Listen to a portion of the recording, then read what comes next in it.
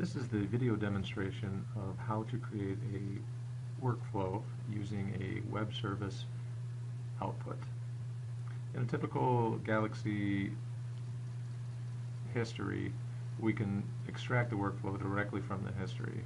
However, with the web service workflow, with the web services, there's there's a separate web service workflow tool, which is not the web service tool that we used in the initial exercise. So to access that, we're going to go to our workflow menu, create a new workflow, call that workflow get temp diff or something unique uh, that we're going to access later.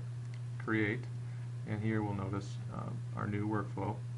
We're going to want to select edit to get into the workflow editor, and from here we select select web service workflow tool, and then the uh, first workflow you'll you'll see, most likely see, is the get weather web service, uh, which we used in exercise one, um, a variation of it at least. And for this exercise, we're going to duplicate every uh, every operation that we add to the workflow. We're going to do it twice, and uh, that's because we're grabbing temperature data from two sources, from Chicago and from Miami. So in the right-hand side, you'll notice um, I, I, selected the drop-down saying user will enter parameter value, and I entered Chicago for the city name, and for the country name I entered United States.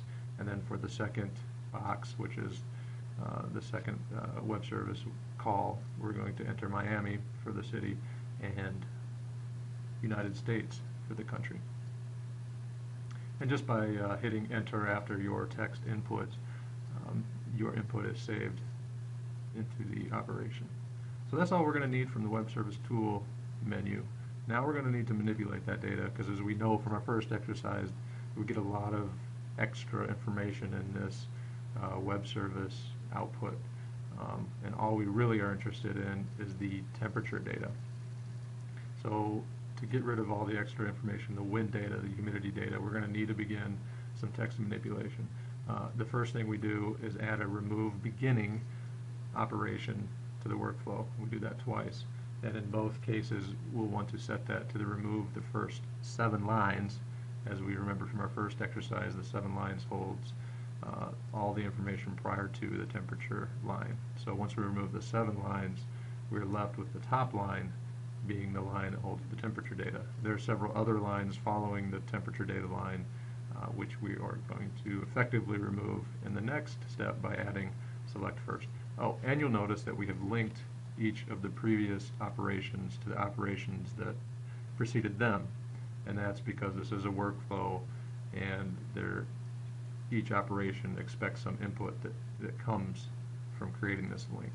So we create that link um, from, from each of these steps. So, so far there's no, um, there's no relationship between the two, um, the two flows here, the one that calls Miami the one that calls uh, temperature data for Chicago. We won't create that um, until uh, at a later step. But here we selected the first line and make sure you changed it to 1.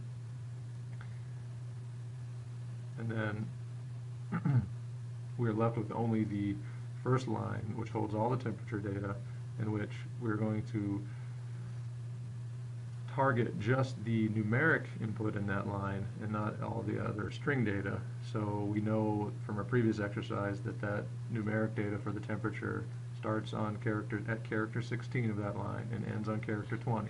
So we add 16 to the top field and 20 to the second field and we link both operations together to the previous operation and what we should be left with is two data sets that hold the just the numeric information for the temperature for the two cities that we selected. And here's where we're going to create the, we're going to sort of join the two data sets together by, with a paste. And we'll use the paste operation, taking the input from the previous operation and, and the previous two operations and putting it into one data set basically. And you'll notice that I added the, the bottom flow to the top paste and the top flow to the bottom paste, and that was basically just to get our cities in the same columns that we had in our first exercise. So we're left with we're left with the data set that has the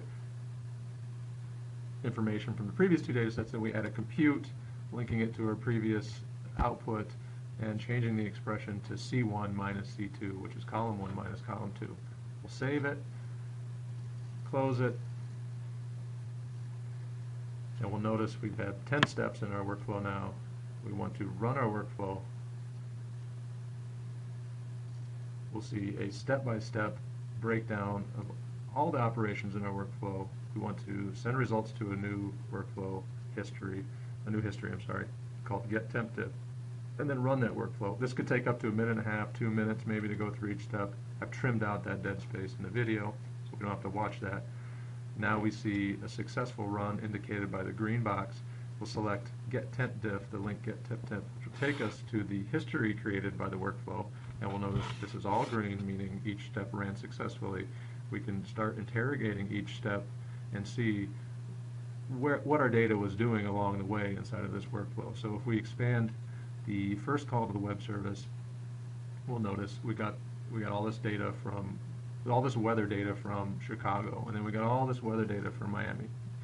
Uh, a little bit too much information for our web service, so we begin to add, start manipulating the text, and so we remove the first seven lines, and you'll notice the first line here is left with just the temperature line, uh, followed by all the remaining lines, which we get rid of here by just selecting the first line, which happens to be the temperature line. and then trimming all the excess string information out of that line, just left with the numeric data, which we then take and make a new data set, a new unique data set that we can compute on, and subtract the second column from the first column, leaving us with a third column, which represents the difference in the temperature. Here we can select the disk icon, open it up in our favorite text editor, and notice that we do indeed have an output with temperature from Miami, the temperature from Chicago, and the difference in the two represented in the third column. And that concludes our exercise. Thank you.